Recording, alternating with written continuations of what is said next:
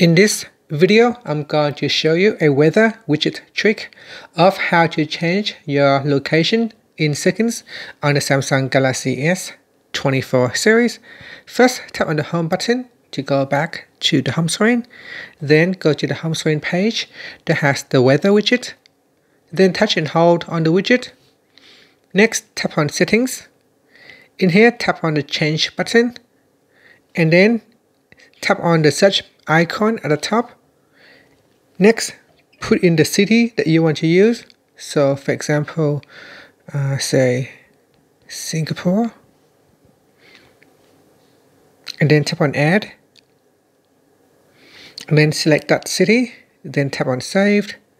And that's it. So that is how you can change the location in your weather widget. Thank you for watching this video. Please like and subscribe to my channel for more videos.